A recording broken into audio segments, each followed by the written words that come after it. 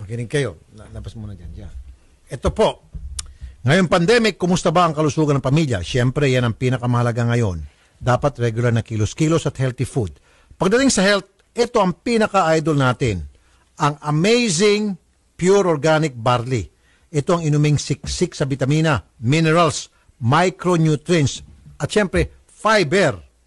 Diyos ko, mas marami pa itong vitamin kay C kaysa sa orange fruit. Drink amazing pure organic barley. Ito ang pampatibay ng immunity, panlaban sa stress, sa pagtanda at panghihina. Feel amazing with amazing pure organic barley. Bumili na ng amazing pure organic barley. Magtungo lang sa website ng I Am Worldwide or sa mga lehitimong I Am Distributors. Ito yan. Noon po umiinom ako ng barley pero ibang brand yun. Okay?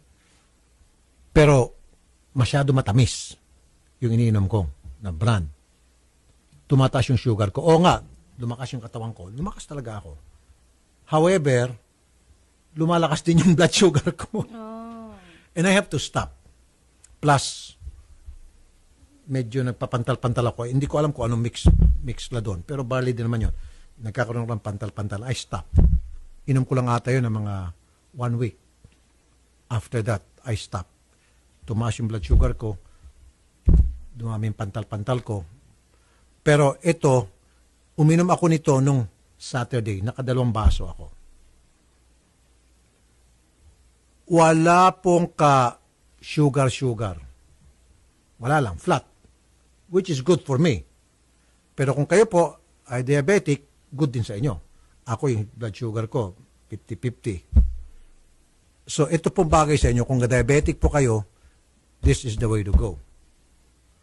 Now, kung kayo po sensitive, meron kayo mga food allergies, tulad ko, this is good for you. Ito po, yung amazing pure organic barley. Nakadalawang baso ako noon, Saturday. Uminom ako. Ayos. Lumakas ako. So, tandaan nyo po, bumili lang kayo sa uh, lithium A- IM distributors kasi baka mamaya mapeki kayo dyan. O dili kayo punta kayo sa website ng uh, IM Worldwide. Okay? Sige. I am. Now, kunin mo na to. Ah,